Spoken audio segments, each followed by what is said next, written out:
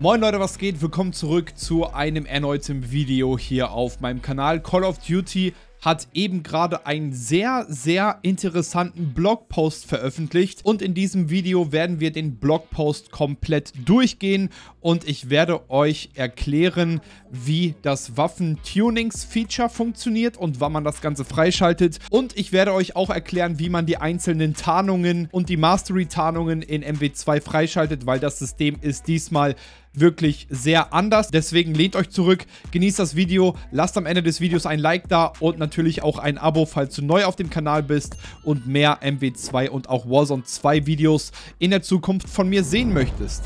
Also, zuerst gibt es Informationen über das Level und zwar wenn MW2 rauskommt, gibt es ja noch keine Season. Wir sind quasi in Season 0 und du kannst in Season 0 nur bis Level 55 leveln und du kannst erst höher gehen, wenn die Season 1 rauskommt. Die Season 1 kommt am 16.11. raus. Am 16.11. kommt auch der Release von Warzone 2. Also zusammen mit Warzone 2 werden wir dann Season 1 bekommen. Also musst du dann in dieser Zeit Waffen leveln und auf Tarnungen gehen. Alle Büchsenmacher Waffenplattformen haben einen einzigartigen Waffen Waffenfortschrittsbaum, der jede Freischaltung innerhalb dieser Plattform detailliert beschreibt. Im Allgemeinen wird durch das Aufleveln einer Waffenplattform mit jeder ihrer Waffen folgendes freigeschaltet. Waffenplattformspezifische Aufsätze sind Aufsätze, die von Waffen in einer Plattform gemeinsam genutzt oder nur einer Waffe in einer Plattform zugewiesen werden können. Zum Beispiel Läufe, Magazine, Schäfte und hintere Griffe.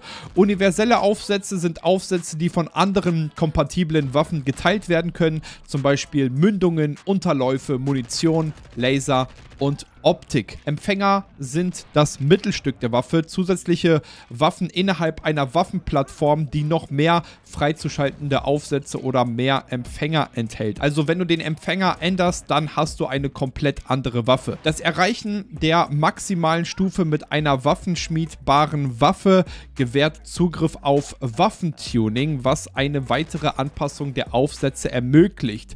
Das heißt, wenn du auf einer Waffe das maximale Level erreicht hast, kannst du dann nochmal das Tuning-Feature freischalten. Einmal entsperrt wird eine Tune-Taste auf ausgerüsteten, abstimmbaren Aufsätzen vorhanden sein. Wenn du diese Schaltfläche auswählst, gelangst du zum Tuning-Menü. Hier findest du ein Radardiagramm, das die Statistiken dieses Aufsatzes darstellt, sowie zwei Schieberegler mit gegensätzlichen Attributen an beiden Enden. Wenn du dich schrittweise in eine Richtung Richtung des Attributs bewegst, wird im Allgemeinen das Attribut auf der gegenüberliegenden Seite verringert. Es wird daher empfohlen, während dieses Vorgangs sehr vorsichtig zu sein, um die Tuning-Werte zu finden, die du für deinen Aufsatz mit maximaler Effizienz arbeiten lässt. Beispielsweise könnte ein Lauf zwei Schieberegler haben für Gewicht und Länge. Das Anpassen des Gewichtsreglers wirkt sich sowohl auf die Bewegungsgeschwindigkeit als auch auf den Rückstoß aus. Das Anpassen des Längenschiebers wirkt sich sowohl auf die Visierzeit als auch auf die Schadensreichweite aus. Die Anpassung beider ermöglicht eine einzigartige Kombination von Effekten auf allen vier Attributen. Waffentuning ist die beständige Endspielstufe der Waffenanpassung. Nachdem du alle Aufsätze im Spiel freigeschaltet hast, kannst du beim Waffentuning experimentieren, um die idealste Version jedes Aufsatzes für jede Waffe zu finden. Diese Änderung erscheint zwar klein, aber die kann sich summieren, um dann eine Waffe zur idealen Meta zu machen. Je früher du dieses Tool freischaltest und erkundest, desto eher kannst du sehen, wie es zu einem vollständigen Meta-Game-Changer werden werden kann. Kommen wir nun zu den Tarnungen in MW2.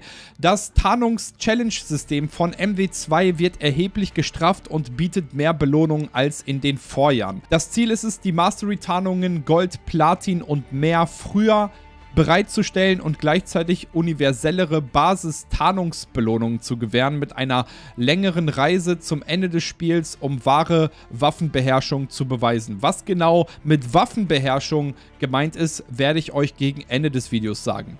Kommen wir nun zu den Basistarnungen. Jede Waffe kann eine Basistarnung ausrüsten, sobald sie über die Basistarnungsherausforderung einer bestimmten Waffe freigeschaltet wurde.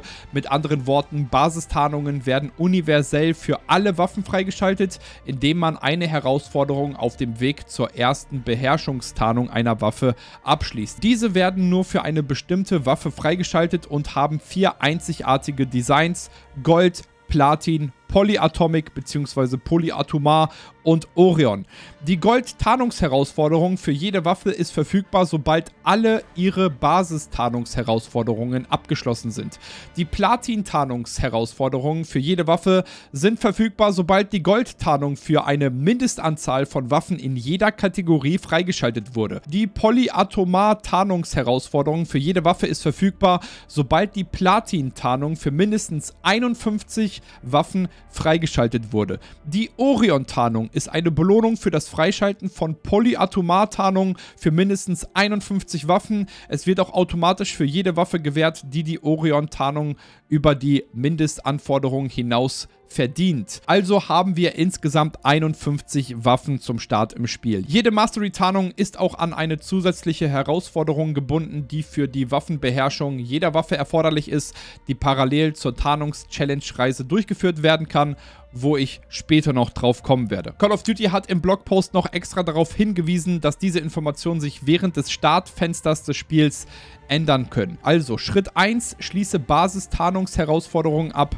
erhalte universelle Tarnung für alle Waffen. In Call of Duty Modern Warfare 2019 hatte jede Waffe bis zu 10 Basistarnungsherausforderungen. Durch das Abschließen dieser wurden alle 100 Basistarnungen freigeschaltet, aber nur für diese Waffe und jede Basistarnung für alle Waffen war gleich. In Modern Warfare 2 bietet das Basistarnungsherausforderungssystem zwischen einer und vier Herausforderungen Tarnungen pro Waffe. Und jede Herausforderung schaltet eine neue Tarnung frei, die für alle Waffen verwendet werden kann. Allein mit der Startwaffenliste wird es beim Start mehr als 180 plus einzigartige Tarnungen geben, die man verdienen kann. Jede Waffe mit Aufsätzen hat vier Basis-Tarnungsherausforderungen. Die erste ist eine grundlegende Kill- Zählherausforderung, die verfügbar ist, sobald die Waffe freigeschaltet ist. Die anderen drei werden bei bestimmten Waffenstufen freigeschaltet, die ungefähr in Dritteln bis zur maximalen Stufe verteilt sind. Ein Hinweis hier, keines davon hat spezifische Anforderungen an die Aufsätze, sodass man diese mit jeder Konfiguration vervollständigen kann, die man für richtig hält. Möglicherweise finden wir jedoch bestimmte Kombinationen von Aufsätzen effektiver bei der Bewältigung dieser Herausforderungen im Vergleich zu anderen Aufsätzen. Zum Beispiel hat die M4 die folgenden Basis-Tarnungsherausforderungen. Erziele so und so viele Kills mit der M4, das schaltet die zensiert Tarnung frei. Erziele so und so viel oder mehr Kills mit der M4 ohne so und so oft mal nachzuladen, schaltet die zensiert Tarnung frei. Diese Herausforderung wird auf Waffenstufe 7 freigeschaltet. Erziele so und so viele Double Kills mit der M4. Das schaltet die zensiert Tarnung frei. Herausforderung wird auf Stufe 13 freigeschaltet. Erziele so und so viele Dreifach-Kills mit der M4. Das schaltet die zensiert Tarnung frei. Die Herausforderung wird auf der maximalen Waffenstufe Stufe 20 freigeschaltet. Schließe alle oben genannte Punkte ab, um die M4 Gold Tarnungs Challenge, die erste Meisterschaftstarnung Planungschallenge freizuschalten. Und das hört sich wirklich nach nicht viel an. Also geht anscheinend wirklich sehr, sehr schnell. So sieht das zumindest hier aus. Natürlich weiß man nicht, wie viele Dreifach-Kills, wie viele Double-Kills man machen muss, um die jeweilige Herausforderung abzuschließen. Aber hört sich erstmal einfacher an als in den letzten Call of Duties. Jede nicht büchsenmacherfähige Waffe, das heißt Waffen ohne Aufsätze, hat eine Basistarnung, die durch das Abschließen einer grundlegenden Kill-Zähl-Herausforderung freigeschaltet wird. Zum Beispiel hat die RPG 7 eine Basistarnungs-Challenge und zwar erziele so und so viele Kills mit der RPG 7, das schaltet die zensiert Tarnung frei. Wenn du nur diese eine Herausforderung abgeschlossen hast, wird die Gold-Tarnungs-Herausforderung der RPG 7 freigeschaltet. Also hört sich wirklich sehr, sehr easy an. Dieses neue Basis-Tarnungssystem gilt auch für alle Post-Launch-Waffen. Wenn du sie im Büchsenmacher bearbeiten kannst, hat die Waffe vier basis Basis-Tarnungsherausforderungen und wenn dies nicht möglich ist, hat die Waffe nur eine Basis-Tarnungsherausforderung. Das bedeutet technisch gesehen, dass jede Season zusätzlich zur Waffe selbst neue Basistarnungen enthalten sein werden, die für alle Waffen verwendet werden können. Auch dieses neue System bedeutet, dass es weniger Herausforderungen für jede Waffe gibt, aber insgesamt mehr Basistarnungen und einen schnelleren Weg, um jede einzelne Waffe zum nächsten Schritt von Mastery Gold Tarnung zu bringen. So, Schritt 2. Schaltet die Gold Mastery Tarnung frei. Sobald jede Basis-Tarnungs-Challenge mit einer bestimmten Waffe abgeschlossen ist, wird die erste der drei Mastery Tarnungs-Challenges Gold verfügbar sein. Jede Waffe in Modern Warfare 2 hat die gleiche Gold Tarnungs-Challenge, eine bestimmte Anzahl von Kills, normalerweise 2 bis 3 steht hier, mit der Waffe zu erzielen, ohne eine bestimmte Anzahl zu sterben. Also ich bin mir nicht ganz sicher, ob das hier stimmt. Also 2 bis 3 Kills ohne zu sterben. Da kann irgendwas nicht stimmen. Ich denke mal, wir müssen eine höhere Anzahl an Kills machen, ohne zu sterben, um dann Gold freizuschalten, weil 2 bis 3 Kills kann ich mir hier nicht vorstellen. Ich denke mal, das müsste ein Fehler hier im Blogpost sein. Dadurch wird die Goldtarnung für die Waffe und nur für diese Waffe freigeschaltet. An diesem Punkt kann man mit der Reise der Waffenbeherrschung beginnen, aber man möchte vielleicht die Goldtarnung für weitere Waffen freischalten, um das Beste aus der Waffenbeherrschung herauszuholen. Oder wenn du weise genug bist, kannst du ja beides gleichzeitig tun. Wie gesagt, zur Waffenbeherrschung kommen wir später. Schritt 3. Schließe eine bestimmte Anzahl an Gold-Tarnungsherausforderungen in jeder Waffenkategorie ab und erhalte Zugang zur Platin-Tarnungsherausforderung. Platin-Tarnungsherausforderungen sind an bestimmte Waffenkategorien gebunden. Sie werden verfügbar, sobald eine bestimmte Anzahl von Gold-Tarnungen für Waffen innerhalb einer Kategorie verdient wurde. Waffenkategorien sind einmal Sturmgewehre, Kampfgewehre, Maschinenpistolen, LMGs, Scharfschützengewehre, DMRs, Seitenarme, ich weiß nicht ganz genau, was damit gemeint ist, also Sidearms auf Englisch, Trägerraketen und Nahkampfwaffen. Jede Platin-Tarnungs-Challenge ist für alle Waffen innerhalb einer Waffenkategorie gleich.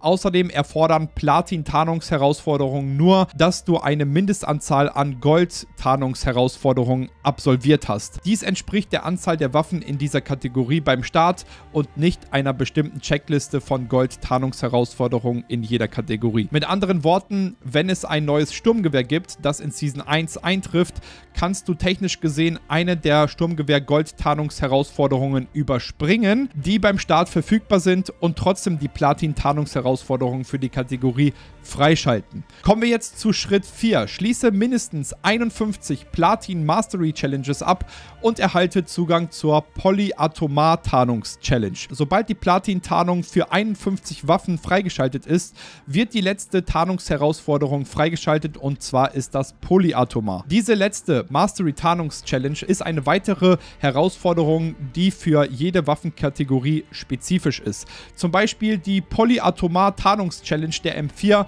unterscheidet sich von der Polyatomar-Tarnungs-Challenge der RPG 7. Wenn du diese Herausforderung mit einer Waffe abschließt, wird die polyatomare Tarnung dafür freigeschaltet und zählt zu den Freischaltvoraussetzungen für die ultimative Mastery-Tarnung. Und zwar ist das Orion. Sobald die Polyatomartarnung für 51 Waffen freigeschaltet ist, das können die 51 Waffen beim Start oder eine Kombination aus 51 Waffen sein, die beim Start verfügbar sind und in den Seasons nach der Veröffentlichung eingeführt werden, erhält jede Waffe mit Polyatomartarnung automatisch die Orion-Tarnung. Dies ist dein offizielles Abschlusszeichen für die Waffentarnungen. Nachdem Orion ursprünglich für 51 Waffen freigeschaltet wurde, gewährt das Verdienen der polyatomaren Tarnung auf allen zusätzlichen Waffen automatisch auch die Orion-Tarnung. Kommen wir jetzt zur Waffenbeherrschung. Ob es eine spätere Staffel von Modern Warfare oder das ursprüngliche Call of Duty Modern Warfare 2 2009 war, erinnerst du dich vielleicht an etwas, das als Waffenbeherrschung bekannt ist. Nachdem du eine Beherrschungstarnung Gold, Platin Polyatomar oder Orion für eine Waffe freigeschaltet hast, erhältst du Zugriff auf die Beherrschungsherausforderung dieser Waffe. Jede Waffenbeherrschungsherausforderung beinhaltet das Verdienen einer festgelegten Anzahl von Kills mit einer Waffe, während eine bestimmte Beherrschungswaffentarnung ausgerüstet ist. Zum Beispiel für die M4 Gold-Meisterschaftsherausforderung ist, erziele 100 Kills mit der Goldtarnung auf der Waffe. Die Platin-Meisterschaftsherausforderung ist, erziele 200 Kills mit der Platin-Tarnung. Die Polyatomar Mastery Challenge ist, erziele 300 Kills mit der Polyatomar-Tarnung und die Orion-Meisterschaftsherausforderung ist, erziele 400 Kills mit der Orion-Tarnung, die auf der Waffe ausgerüstet ist. Durch das Abschließen jeder Meisterschaftsherausforderung an einer Waffe werden basierend auf dieser Waffe eine neue Visitenkarte und ein neues Emblem verliehen. Durch das Abschließen aller vier Meisterschaftsherausforderungen auf einer Waffe wird ein auf dieser Waffe basierender Waffentalisman freigeschaltet. Letztendlich beinhaltet die Beherrschung des Modern Warfare 2 Arsenals das Freischalten von Orion für jede Waffe und das Abschließen jeder Waffenbeherrschungsherausforderung. Natürlich gibt es dafür eine Abschlussbelohnung, wenn die Dutzend von universellen Basistarnungen und Waffentalismane zusammen mit den Hunderten von Visitenkarten und Emblemen nicht ausreichen, damit du oder die Tarnung Royalty-Spieler, die gerne ragen, entlohnt werden. Also es wird dafür auch nochmal eine große Belohnung wahrscheinlich geben, die wir bis jetzt noch nicht kennen. Und das hört sich meiner Meinung nach viel, viel besser an, die Tarnung hier freizuschalten. Du musst keine komischen Challenges machen mit, du musst diesen und diesen Aufsatz benutzen und so und so viele Kills mit diesen bestimmten Aufsätzen machen. Du hast nur vier Basis-Tarnungsherausforderungen, die du abschließen musst, damit du dann die Gold-Herausforderungen abschließen kannst. Hört sich alles sehr, sehr easy an. Man muss eigentlich nur Kills machen, beziehungsweise Double Kills, Triple Kills, ohne zu sterben. Und dann kannst du Gold auch schon freischalten. Also hört sich alles sehr, sehr einfach einfach an, meiner Meinung nach. Bin wirklich sehr gehypt. Hört sich alles sehr, sehr gut an. Schreibt mir gerne in die Kommentare rein, was ihr davon haltet. Ich bin raus. Wir sehen uns beim nächsten Video, beziehungsweise im Livestream. Morgen mache ich einen 12-Stunden-Stream zum Start von Modern Warfare 2. Bin schon übelst gehypt. Ja, kommt da gerne in den Livestream rein. Oben ist der Link in der Beschreibung. Wir sehen uns. Haut rein und